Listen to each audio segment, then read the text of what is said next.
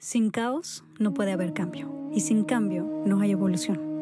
Juntos exploraremos cómo transformar la incertidumbre, el dolor y la incomodidad en la magia que intuitivamente sabemos que es posible para nuestras vidas. Yo soy Aislinn Derbez y creo que los mejores regalos que puedes darte son espacios para conectarte, sentir y reflexionar. Espero que este sea uno de ellos. Me da muchísimo gusto tenerte aquí porque te admiro muchísimo y creo que eres una de las personas más interesantes que he conocido. Muchas gracias. Así que estoy muy emocionada de tenerte en mi podcast. De hecho, creo que es mi primer podcast en inglés, así que bienvenido. Quiero empezar con un tema. Siempre hablas del amor de una forma muy diferente, así que me gustaría saber cuál es tu mejor forma de definirlo. Creo que amor es un término con mucho peso, ¿sabes? En inglés, cuando decimos que amamos, solo tenemos una frase. I love you. Y yo sé que en español... Claro, tenemos muchas palabras. Ah, tienen muchas palabras. En inglés básicamente solo decimos I love you. Y está muy bien, pero también creo que es muy confuso. Yo veo la palabra amor como, como la X en la ecuación de álgebra que representa ese valor desconocido.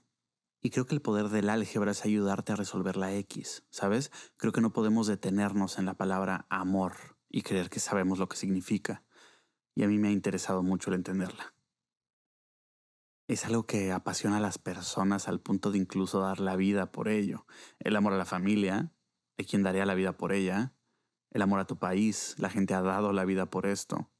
El amor a un ideal o a una causa, pero aún en una manera microscópica cuando estás viendo un programa de Netflix, estás dedicando tu vida y dándole de cierta manera una pequeña rebanada de tu vida. En cierta forma podrías decir que, esto es amor. Hasta lo decimos así. Alguien dice, oye, ¿viste el nuevo programa de Netflix? Lo amé. El amor tiene que ver con dar a algo un poco de ti mismo.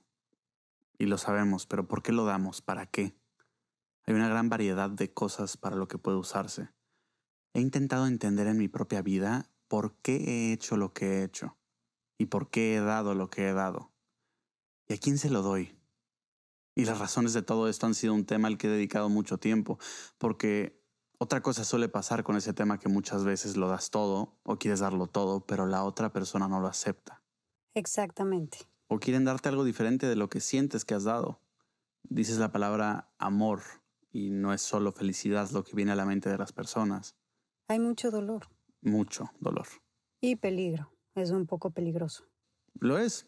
E-, es un tema peligroso. Hay dolor, hay felicidad, hay alegría, hay placer, hay miedo. Mucho miedo. Sí.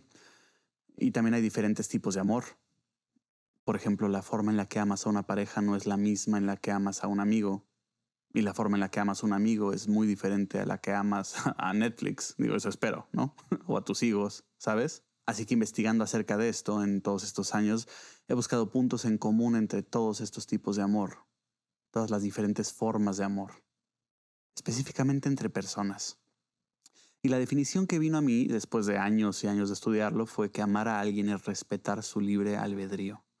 Porque creo que es una cosa complicada la diferencia entre querer tener algo y amarlo. Como padres muchas personas dirían, pues solo quiero lo mejor para mis hijos. Como pareja muchas veces hay quien dice, solo quiero lo mejor para ti. Y aun cuando esto sea cierto, cosa que no siempre sucede, si realmente prestas atención, querer algo para alguien no es lo mismo que amarlo. Eso nos llevaría a un territorio muy profundo para explorar, pero solo por poner un ejemplo, yo crecí creyendo que no tenía suficiente amor. Y lo quería. Y no sabía qué era, pero sabía que venía de los demás. Bueno, eso pensaba. Entonces me esforcé en ser eso, que según yo los demás querían o necesitaban para yo poder obtener su amor. Y hay cierta forma de atención que se obtiene de hacer eso, pero desde mi experiencia, y creo que desde la experiencia de muchos, cuando haces eso, el resultado es un poco hueco. Así como puedes comerte una bolsa entera de papitas o de palomitas y en el momento pues te parece lo más importante, pero al final te acabas sintiendo hueco o demasiado lleno de algo que en realidad no te importaba. Exactamente. Y yo no quería desperdiciar mi vida así. y desperdicié mucho tiempo, gasté mucha vida tratando de ser algo para los demás solo para que me dieran eso a cambio, esa atención o lo que fuera. Así que con los años comencé a poner más y más atención a la diferencia entre querer tener algo y amar a alguien. Y esta idea de amar a alguien es respetar su libre albedrío. Es... Eh, es lo más difícil del mundo, ¿no crees? Así lo creo. Muchas veces lo es porque estas relaciones amorosas que tenemos con las personas suelen enredarse con los deseos, ¿sabes? Y solemos tener una idea muy específica sobre te amo o voy a quererte más si haces esto o si no haces esto, etc. Creo que hay una complejidad adicional que es la dificultad de vernos a nosotros mismos. Así que aunque creamos que queremos ofrecer todo lo mejor que somos a alguien más, existen estos elementos adicionales que son como tiburones en el agua, que nos pueden salir en momentos inesperados, a veces motivados por cosas que la otra persona hace o no hace, en otras palabras, cuando nos pican nuestros botones. Algunas veces tiene que ver con ellos, a veces con cosas que sucedieron antes, lo cual lo hace confuso, retorcido, complicado. A mí lo que sigue dándome claridad es volver al concepto de que lo más importante en el mundo es el libre albedrío, porque si no hay libre albedrío, entonces ¿qué importa lo que hacemos aquí? Bien podríamos ser robots. Bien podríamos ser actores en una obra de teatro, recitando las líneas que alguien más escribió. Y sé que científicamente existe el debate de si existe o no el libre albedrío. Pero aunque muchas de nuestras acciones se basan en patrones en rutinas, y mucho es genético o ambiental, yo sí creo firmemente que existe el libre albedrío. Yo no creo que lo usemos todo el tiempo, pero sé que está ahí que el libre albedrío es lo más poderoso e importante del universo. Y creemos que el amor es lo más poderoso e importante, pero el libre albedrío puede usarse para negar el amor o para elegir un amor diferente. Wow, totalmente. Así que en ese sentido, el libre albedrío es lo más poderoso del amor. Y podría decirse que la posibilidad de elegir es en sí misma una muy elevada forma de amor. Así que para mí el amor y el libre albedrío están íntimamente ligados.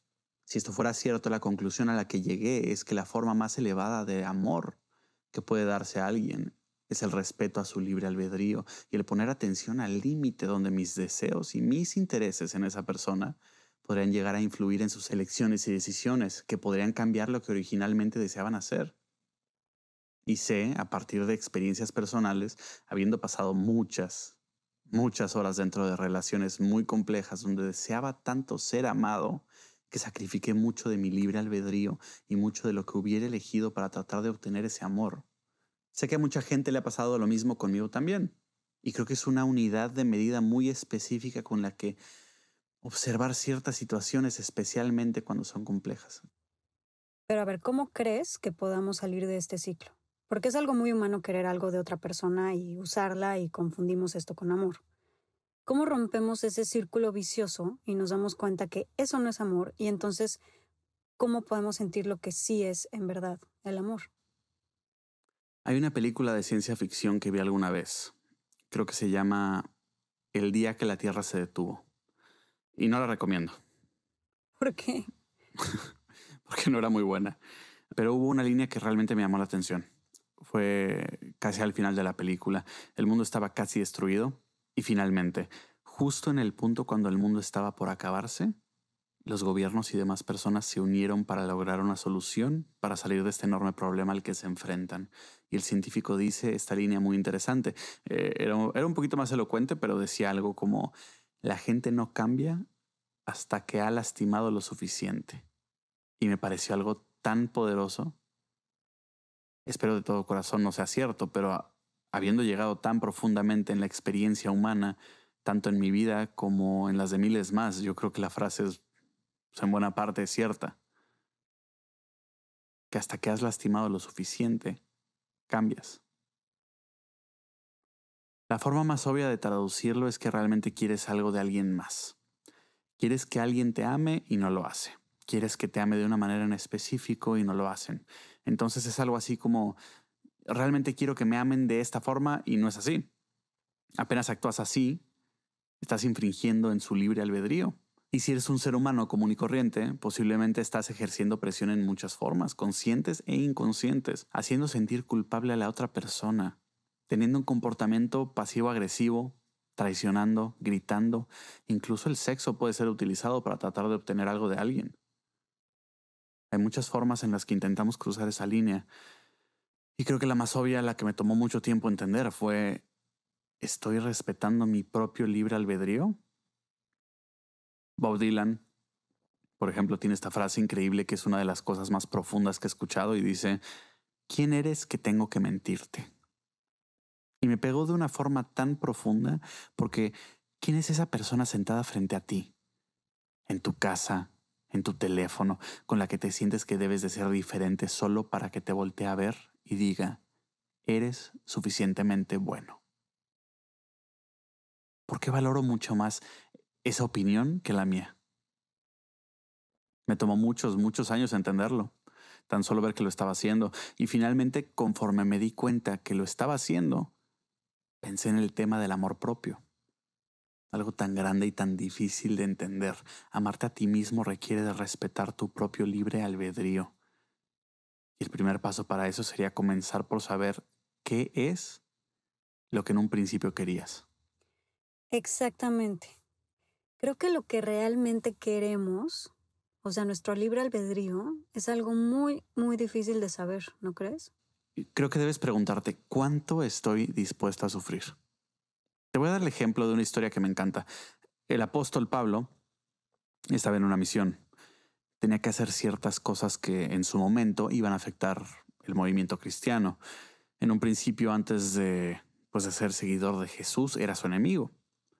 E hizo mucho para tratar de detener el movimiento que estaba comenzando porque pensaba que estaba mal.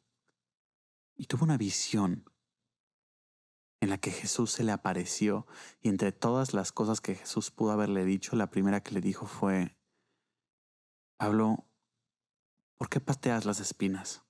Y yo creo que es una historia tan profunda, ya sea que creas o no en su precisión histórica, no importa mucho. La historia misma es muy profunda. ¿Por qué? Aquí está Dios. Se le aparece a un tipo que está muy seguro de su misión y Dios podría decir lo que fuera.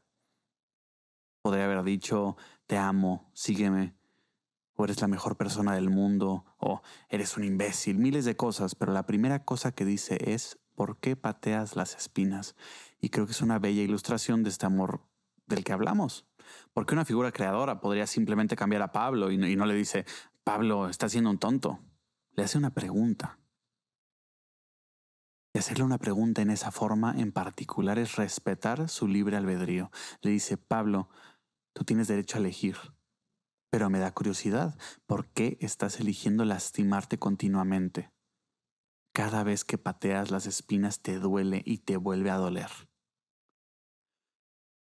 Mucho del sufrimiento de este mundo no es porque esté lleno de espinas, porque no lo está. El mundo tiene pues tiene espinas, pero no está lleno de ellas. Sin embargo, hay muchísimo sufrimiento. Y es porque insistimos en patear las espinas Creo que el primer paso debería de ser la concientización de los dolores que tenemos, en particular del dolor cíclico, del dolor común, del dolor en situaciones en las que ya hemos estado, porque si estás con una persona completamente nueva y sientes el mismo dolor del pasado, lo más probable es que no se trate solo de mala suerte, Exacto, repetimos patrones del pasado y los repetimos con personas nuevas y creemos que ellos son el problema, cuando el problema son los asuntos viejos sin resolver. Y bueno, quería preguntarte, y creo que ya me has contestado algo sobre esto, pero ¿por qué crees que necesitamos el dolor en nuestra vida? ¿Por qué tenemos que pasar por tanto dolor y tú crees que podemos realmente transformar ese dolor en algo bello? Cuando observas las raíces del dolor, en realidad se trata de algo bello, porque este mundo es una compleja mezcla de circunstancias que siempre están en movimiento y muchas de ellas llevan a la vida y otras no. Y el dolor es básicamente este sistema de mensajería que está diseñado para atraer nuestra atención, para advertirnos cuando las cosas que hacemos no nos están conduciendo a la vida. Muchas veces usamos el sufrimiento del dolor para hacer juicios sobre nuestro propio valor, el sufrimiento por el dolor se ha vuelto algo tan adictivo por ser algo que hemos experimentado tanto, con el cual nos hemos familiarizado de tal manera que ya no nos damos cuenta y no nos beneficia. Pero cuando el dolor se usa para decirnos que las cosas deben cambiar, nos obliga a entrar en una especie de autoexploración. Es la forma más simple en la que puedo expresarlo. El dolor es una señal para sacar de nosotros el instinto creativo y concientizarnos de algo en particular. Por ejemplo, digamos que pisas una roca filosa o algo así. El dolor sube por tu pierna y te avisa, oye, acabamos de dañar el pie. Si hicieras un juicio moral sobre ti mismo en ese momento, sería absurdo si dijeras, soy la peor persona por haber pisado la roca, o sea, sería ridículo. El dolor no debe de tener nada que ver con un juicio moral pero es una advertencia y un indicador de que algo está sucediendo que podría poner en peligro el movimiento. Y no solamente es un llamado para pensar debemos de tener más cuidado porque si hay una roca de estas aquí, tal vez no sea la única. También es pensar que si tu piel está lastimada y como tu piel te protege de un virus y bacterias, ahora que está abierta, debes tener una solución creativa para resolver el problema. Así que desde un punto de vista interesante, cuando el dolor se usa para detener algo, puede ser muy frustrante cuando estás atrapado en él, puede ser desesperante. Pero piensa en los zapatos. ¿Por qué a alguien se le ocurrió inventarlos? No sé, para evitar el dolor. Sí, y así con la mayoría de las cosas que han sido inventadas. Podemos ver así hasta las curitas o los sombreros. Todo. O sea, creo que todo lo que hemos creado como humanidad ha sido para evitar sentir dolor. Exactamente. Cuando ves el dolor desde esa perspectiva, es increíble. Porque cuando se responde al dolor con un instinto que genera energía creativa, grandes avances pueden ocurrir. Avances que no solo solucionan ese problema en el momento, sino que lo hacen para muchos otros más en el futuro, quienes ni siquiera tuvieron ese problema. Uso zapatos todo el tiempo y me encantan y, qué bueno que se inventaron, pero esto fue gracias a alguien que se lastimó el pie hace muchísimo tiempo. Es muy hermoso. Sin embargo, debo de decir que hay dos tipos de respuestas que podemos tener ante el dolor. Hay una del cerebro inferior y otra del cerebro superior. En la respuesta del cerebro inferior, el dolor puede causar una reacción de pelea o huida, que significa básicamente que cuando estás asustado o cuando siente que algo puede salir mal, tu cerebro se desplaza a ese momento de gran preocupación en el que crees que vas a morir. Y ya sea que corras lo más rápido que puedas, lejos de ahí o te enfrentas a esto con toda la fuerza para destruirlo. Así funciona el cerebro reptiliano, pelea o huida. En tiempos modernos esto funciona así. Pensemos que estás discutiendo con alguien y que no contesta nada. Solo voltea los ojos y dice, ugh. No te puedes morir por ese, ugh, es, es imposible. Pero todos hemos estado en situaciones donde algo así nos ha roto el corazón, como una espina gigante cuando esto nos sucede, hay una tendencia fuerte de entrar en modo pelea o huida. Y eso podría verse así. O te guardas el enojo y no dices nada, o contestas, ah, sí, pues eres un idiota, o alguna otra frase. Eso es pelea o huida. Es una versión moderna de pelea o huida. Y el problema con ambas es que ninguna soluciona el problema. No lo harán. Puedes evitar mayor daño, mayor daño inmediato si haces cualquiera de estas dos cosas o podrías tal vez empeorarlo. Pero tenemos una fuerte tendencia biológica para seguir ese camino al que llaman cerebro reptiliano porque esos elementos están presentes en los reptiles. Es un sistema muy, muy antiguo y tiene sus beneficios, pero creo que lo usamos mucho más de lo que deberíamos es bueno para una situación en la que te esté persiguiendo un búfalo. Evidentemente no es un momento para usar la empatía o la conexión o cualquiera de esas cosas, pero ya no vivimos en las cavernas. Bueno, entonces, ¿en qué crees que debemos enfocarnos? Creo que en el cerebro superior, porque este tiene la capacidad de tener empatía, que significa el poder entender el punto de vista de alguien, poder conectar con ellos. Y la conexión tiene mucho que ver con entender al otro y con pensar en sugerencias y en comunicación que les ayude a entender que su punto de vista es comprendido. Muchas veces cuando las personas están conectando dicen cosas como, claro, te entiendo, asintiendo con la cabeza, o dicen, sí, claro, yo también, yo también. Esas son dos de las palabras que más se dicen cuando la gente conecta, lo que denota que conectar tiene mucho que ver con el entendimiento compartido, con una visión del mundo compartida y en una dinámica de relación. Especialmente si quieres lograr una solución creativa, debes investigar. Debes concientizarte sobre la otra persona y su punto de vista, concientizarte de, de, ti mismo y de tu punto de vista, para tener todas las cartas sobre la mesa. Y después deberías de pensar en las nuevas interacciones entre ellos, las nuevas conversaciones entre esas piezas, y probablemente inventar algo nuevo. Y cuando resuelves una discusión de forma que ambas personas se sientan mejor, habrás inventado algo, como los zapatos. Porque hubo un dolor fuerte y en vez de huir o pelear con ello, optaste por otro camino, la función del cerebro superior, usar la creatividad. Pero como mencioné, la creatividad requiere de la concientización. Mira, yo creo que hay tres fases que prevalecen en todo cambio. He estudiado el cambio por mucho tiempo. La primera es concientización. La segunda es relación y la tercera es poder. Concientización significa que entiendes los elementos en juego. Relación significa que estás explorando diferentes niveles de interacción con estos elementos hasta que encuentres uno que sea benéfico. Y apenas lo encuentras, se convierte en poder. Para cuando llegas a la fase de poder es básicamente porque ya pudiste cambiar la situación de una forma benéfica. Así que si usamos el ejemplo de este cavernícola que se lastimó el pie, tienes que pensar que en algún punto tal vez ni siquiera entendió que fue una roca lo que lo lastimó. Tal vez creyó que fue un espíritu maligno, un cocodrilo o algo así. Así que lo primero que tienes que hacer para solucionar futuros problemas y no volverte a lastimar con la piedra sería ser consciente de que tienes un pie y que el pie es más suave que la roca y que si la roca es filosa te paras encima de ella, rompe la piel del pie y entonces puede dolerte. Eso es solamente concientizar. Lo siguiente que tendrías que hacer es preguntarte, ¿qué puedo encontrar para evitar que esto suceda? Tal vez pueda encontrar algo en el mundo que sea más grueso que mi piel, pero lo suficientemente suave tal vez para que mis pies sigan siendo útiles. Y así comienza la relación con elementos para solucionar el problema. Al principio, tal vez la persona coloca una piedra bajo su pie y eso soluciona el problema de la roca filosa, pero es demasiado pesada, inflexible, así que la persona usa madera, pero le astilla lo cual causa un problema nuevo. Y después la persona encuentra eh, la piel animal o algo por el estilo, que es suficientemente suave para que el pie se mantenga flexible, pero impide que las rocas lo traspasen.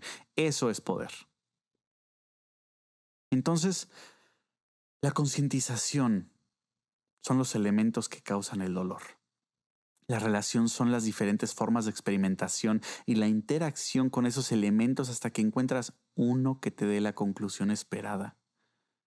Y es así como obtienes el poder de haber creado algo que solucionó un problema. Eso está increíble. Es que es útil para cualquier situación en la vida y en las relaciones que tenemos con los demás. Voy a hacer una pausa comercial rápida. Amay Natural es una compañía que hice con una de mis mejores amigas, Mariana Burelli. En Amay Natural creamos productos 100% naturales y sustentables como shampoo, acondicionador y crema. Todo en barra. También tenemos otros productos deliciosos como nuestra línea para bebés. Todo lo que hacemos es libre de sulfatos, parabenos, sintéticos, aceite de palma, silicona, fragancias químicas, empaques de plástico y por supuesto libre de crueldad animal. Están disponibles en amai.mx, en Amazon y en sephora.com.mx. Checa el Instagram de Amai Natural o la página web amai.mx para más información. Sé que has estudiado mucho con respecto a la alegría y quisiera saber cómo la defines, porque es muy interesante y es de lo que más me gusta sobre tus retiros y talleres. Para mí la alegría no es la felicidad. La felicidad y la tristeza son opuestos. Pero para mí alegría es un nivel de vitalidad. Eso es lo que decimos cuando sentimos un me siento tan vivo en este momento. Para mí eso es alegría. Muchas veces solo estás viendo a alguien tan intensamente que es como si nada más en el mundo existiera. Eso es alegría. Y no siempre estás feliz. A veces también hay, hay dolor. A veces también hay dolor o belleza en ello. Tal vez estás perdiendo a alguien. Tal vez estás en un lecho de muerte dando la mano a tu mamá o a tu papá, mirándolos y piensas en lo que han sido para ti, cómo has cambiado gracias a ellos. Y eso también puede ser alegría. John Lennon tenía este dicho, la vida es lo que sucede mientras estás ocupado haciendo otros planes. Y creo que si hoy estuviera vivo, tal vez la frase sería, la vida es lo que sucede mientras estás en Instagram. ¿sabes? Por todo el tiempo que pasamos en estos mundos virtuales, no solo en redes sociales, pero dentro de nuestros propios pensamientos. La razón por la que las redes sociales son tan populares es porque básicamente le dieron visibilidad a todos nuestros pensamientos. Somos criaturas muy, muy visuales. Cierto. Elegimos a quién seguir y seguimos a personas que básicamente toman fotos a las cosas en las que pensamos. Y la gente vive en este mundo de fotografías y videos de sus propios pensamientos, pero antes de que existieran Instagram o Facebook, ya existía la mente atrapada en sus pensamientos. Rara vez alguien habla de lo que va a cocinar más tarde y piensa, me siento tan vivo. claro, si te encanta cocinar puede ser que sí, pero para mí la, alegría es un momento en el que te das cuenta que estás vivo cuando piensas, esta es mi vida y puedo hacer lo que quiera con ella. Está muy conectado también con el respeto al libre albedrío, porque no puedes respetar tu libre albedrío a menos de que estés consciente de que lo tienes. Para mí la alegría es que tanto siento mi presencia en mi cuerpo y a la vez ser consciente de cada cosa que hago, de las palabras que digo, simplemente decir, esta es mi vida y así quiero usar mi vida. Y que mi boca, mi lengua, mi pecho digan exactamente lo que yo quiero. Y que es mi elección decir esas palabras y que no hay nada que quisiera más que decirlas. Y conforme siento esto en mi cuerpo, la alegría sube. Me doy cuenta que la alegría es una expresión de presencia. Porque no puedes tener alegría hace cinco minutos y no puedes tener alegría del futuro. Es algo que simplemente sucede en el momento. Y el término presencia lo entiendo como un sentido. Y la presencia es el sentido de cuánta vitalidad tienes en determinado momento. De la misma forma que tus oídos te dan el sentido del sonido, yo creo que la presencia es el sentido que te dice cuánta vida tienes en un momento y una vez que alcanza cierto nivel, tiene que salir del cuerpo y es ahí cuando se convierte en alegría, Ice. Y entonces la presencia te llena tanto que tienes que levantar los brazos. O que tienes que sonreír mucho, o tienes que ver muy intensamente a alguien, o tienes que abrazar muy fuerte. Por ejemplo, ahorita, ahorita siento mucha alegría en este punto. Pues sí, eres el experto. Y mis piernas patean, se me enchina la piel. Pero creo que lo más increíble que haces y el por qué eres tan especial en lo que haces es porque creas tu propia alegría. Tú sabes que tú eres quien la crea, no importa lo que esté sucediendo allá afuera. Creo que esa es una de tus grandes enseñanzas, porque enseñas a la gente a crear sus propios sentimientos y no a depender de lo que sucede en la vida o de reacciones de los demás para tener ciertos sentimientos, ¿cierto? ¿Podrías hablar más de eso? Porque creo que es una de las cosas más interesantes que haces. La forma en la que las emociones y los sentimientos funcionan en el cuerpo es porque por defecto son disparados por circunstancias externas. Y en cierta forma los sentimientos son impulsos de señal que ayudan a la mente interna a tomar decisiones sobre lo que sucede a nuestro alrededor. Ve, creo que la forma más simple en la que puedo explicarlo es pensando en un momento hace millones de años. Éramos animales de manada. Y hay un montón de personas en una manada, digamos no sé, 30, y todos están mirando en diferentes direcciones, como lo harían 30 personas que se mueven a través de un bosque. Y una persona en la orilla del oeste de la manada mira a su derecha y ve un arbusto de moras. Y todos tienen hambre, así que apenas esta persona ve el arbusto, podrían generar una explicación como un... aunque no tenga sentido, podría saber que es un sonido positivo, emocionado. Y esto es porque nuestros ancestros han usado estos mismos sonidos desde hace miles de años. Es el antepasado del lenguaje como lo conocemos hoy. Y gracias a que esa persona miraba al oeste e hizo ese sonido, todos los demás en la tribu ahora ponen sus sentidos hacia esos arbustos. Y gracias a eso, los demás se benefician de esas moras.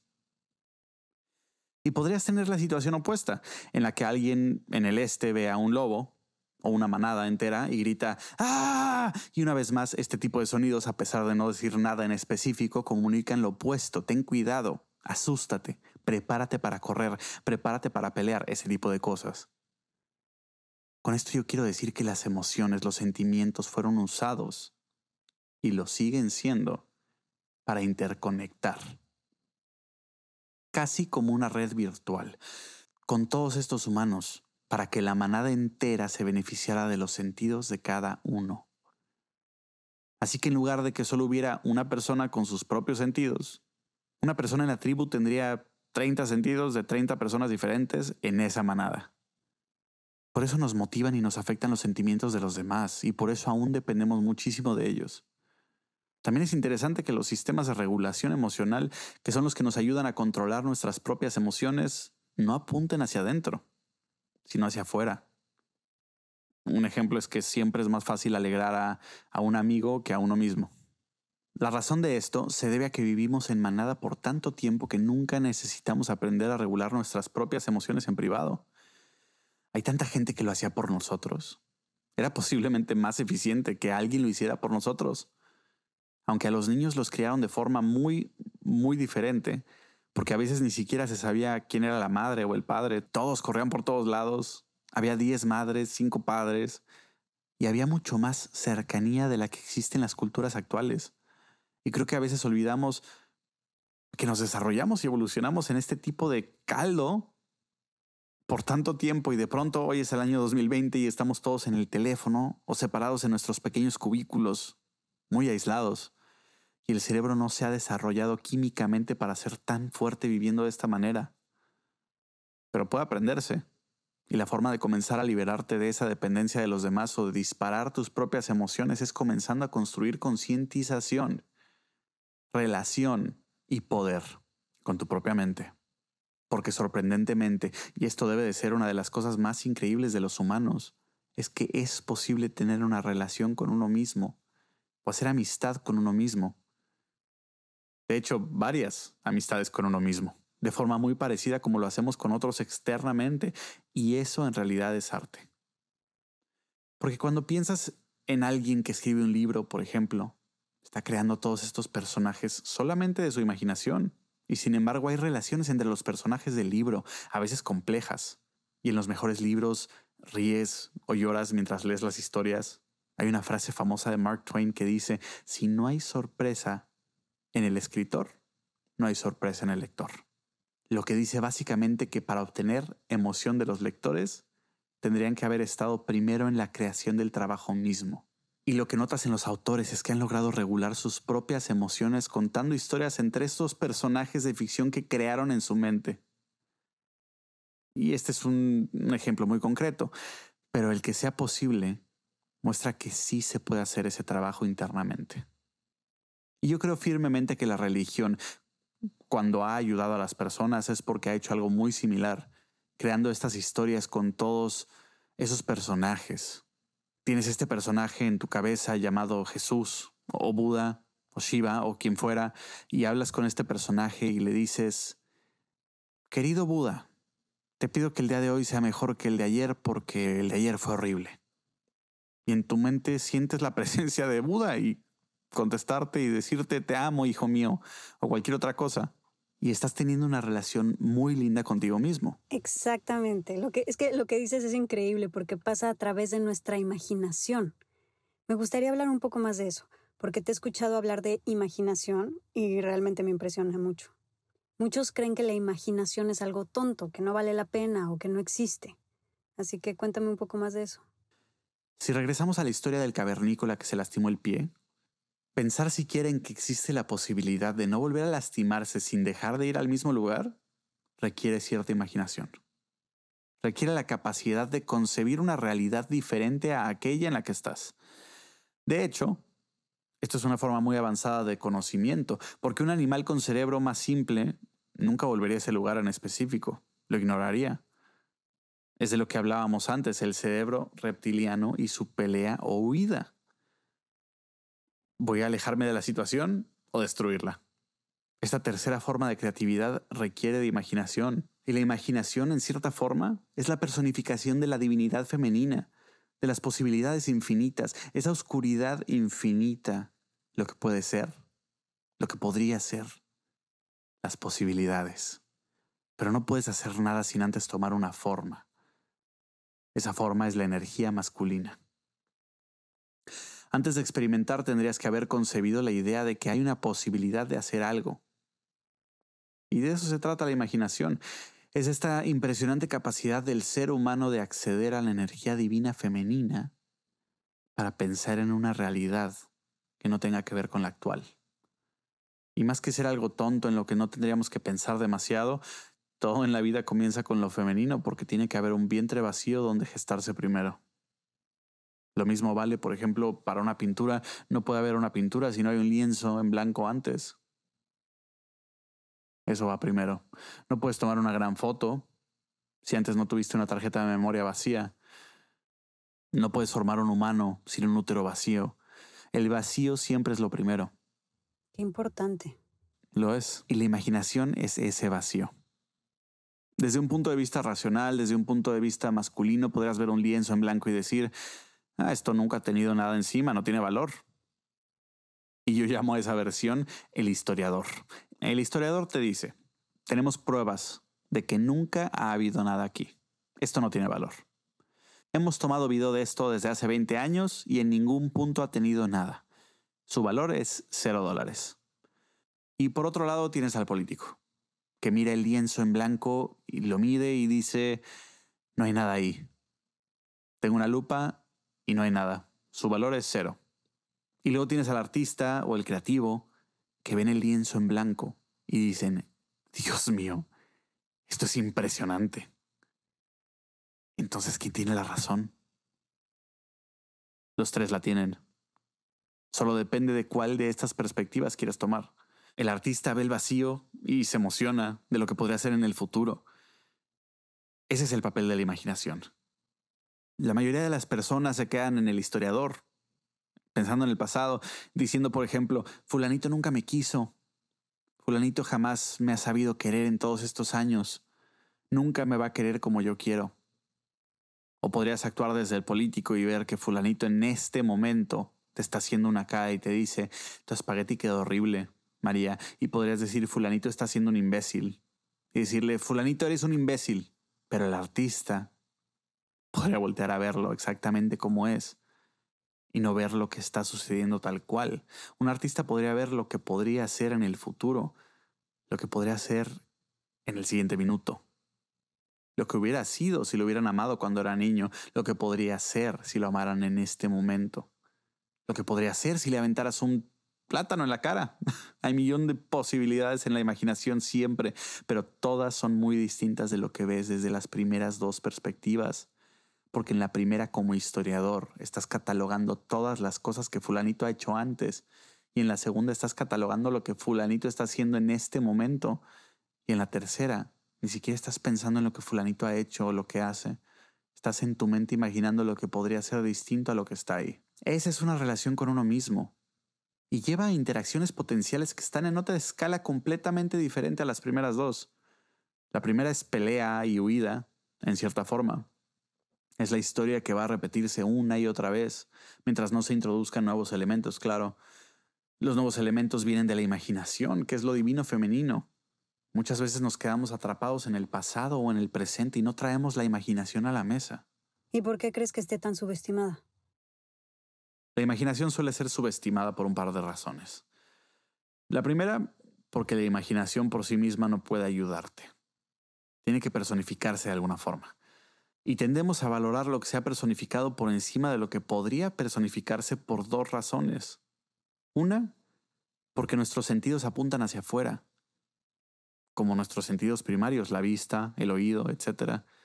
Tendemos a sobrevalorar el mundo exterior y el mundo como es en el momento porque nuestros sentidos constantemente alimentan nuestro cerebro con la información que obtienen. Y dos, porque una fruta real te alimenta, pero una fruta imaginaria no. Tiene que haber un salto de algo que ha sido imaginado a algo personificado, y parte del problema con eso es que no es cosa fácil. Por ejemplo, Thomas Edison, quien inventó el foco, tuvo la idea de que esto funcionara, pero no sabía cómo y literalmente probó con miles de combinaciones de metales para encontrar la mezcla de tungsteno que terminó por convertirse en el foco.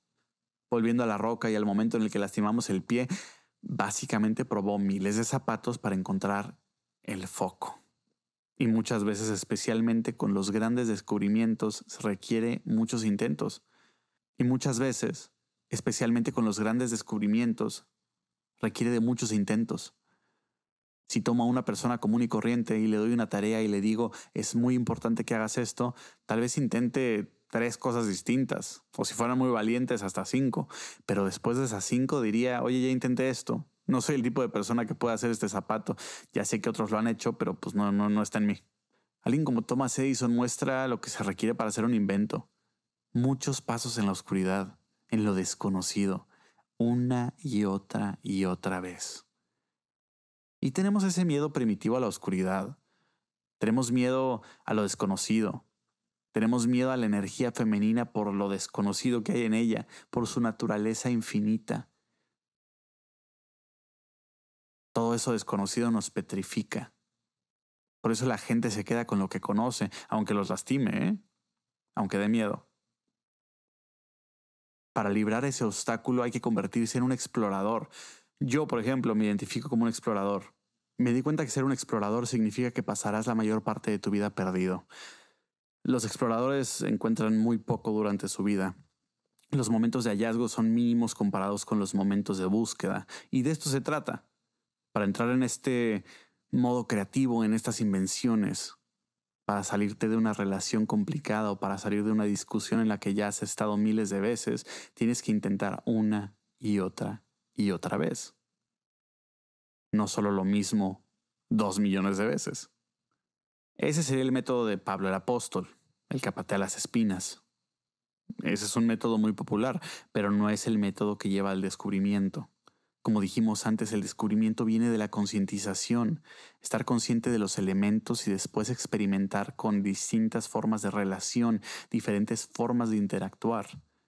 Y eventualmente, pues, encontrar una lo suficientemente buena para que se convierta en una solución. Para darte un ejemplo práctico llevado a las relaciones, llegó una persona conmigo un día y me dijo, Jesh, entiendo lo que me dices de la exploración, pero la verdad es que no sé cómo hacerlo.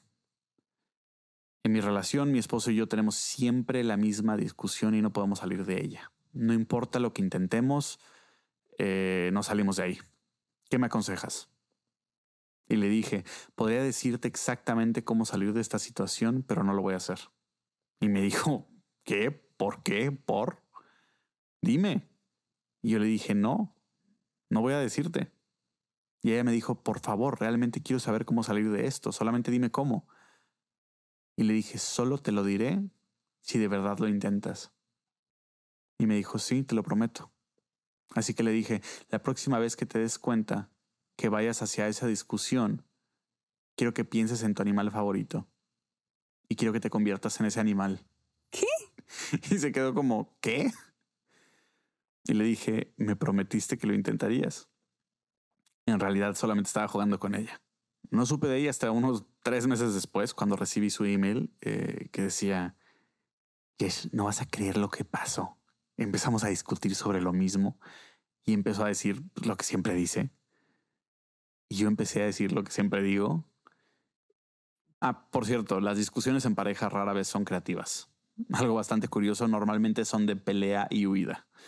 Así que están en la pelea, ¿no? Ella se da cuenta de esto y escucha mis palabras en su mente piensa en tu animal favorito y conviértete en él. Y lo primero que vino a su mente fue su perro, Jimmy. Y de inmediato se tiró al piso, miró a su esposo y comenzó a ladrar. ¡Guau, guau, guau! No, empezó a ladrar. Y su esposo se quedó como, ¿qué carajos haces?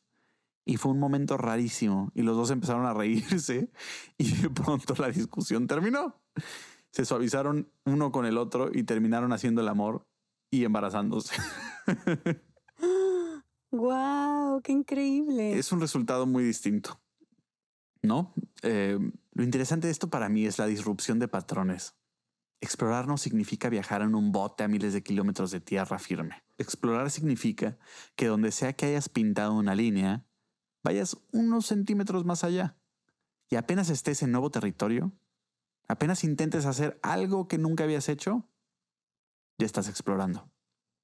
Es tan simple como que cuando estés en una discusión, cuando estés en una situación donde sientas que el dolor vuelve, especialmente un dolor familiar, intentes algo distinto. Si quieres ser menos extremo que ese ejemplo, te sugeriría acordar con tu pareja que la próxima vez que discutan deberán hacerlo subidos arriba de la mesa porque pelear subidos sobre la mesa es raro. Normalmente no lo harías. Y gracias a esa pequeña diferencia discutirás de una forma distinta. O podrán vendarse los ojos y tomarse de las manos mientras están peleando. De verdad, te lo digo, funciona. Serías un excelente terapeuta de parejas, ¿eh? Esto podría ayudar a muchas. así, de, así como suena de ridículo, en serio ayuda. El punto básicamente es que nos encerramos en estos patrones y los patrones no dan alegría. Cuando le preguntas a la gente, y lo he hecho muchísimas veces, unas diez mil veces, ¿cuál ha sido el momento más alegre de tu vida? Siempre responden cosas como, ay, cuando nos fuimos de viaje a Bali, o una vez que escalamos esa montaña cerca de la casa, nunca lo habíamos hecho, siempre habíamos querido, y subimos ahí en mi cumpleaños 39 y mi esposo me regaló dos perros o lo que sea. Siempre son cosas que no pasan muy a menudo.